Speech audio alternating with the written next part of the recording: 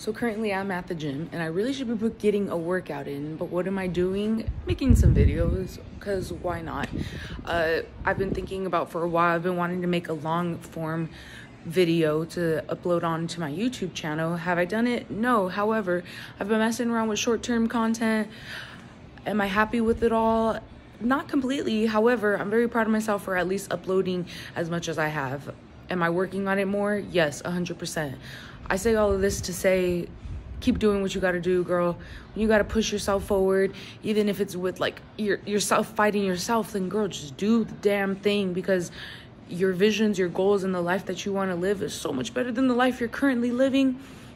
What do you got to do to get there, girl?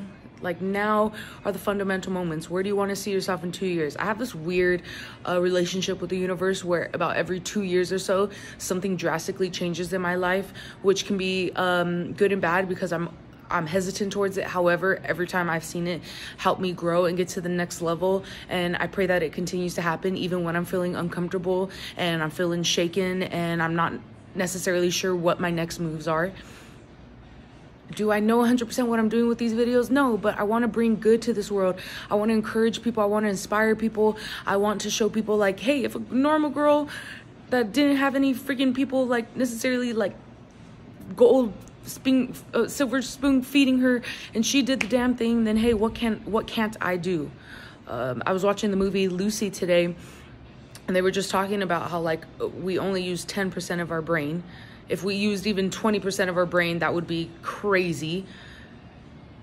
It just it, it made me ponder and think, okay, well, what am I doing with my time? What am I doing with my life?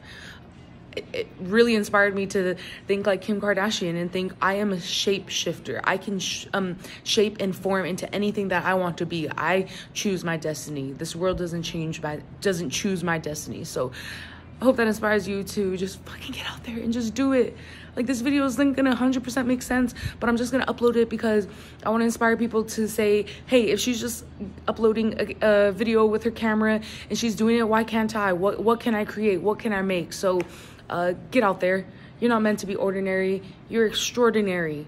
And I'm not trying to even be cheesy with that, but like literally, we are not meant to be normal people. We are not low vibrating people. We are high vib- vibrating frequencies. And we are ready for what this beautiful, beautiful world has to offer us fully. So, yeah.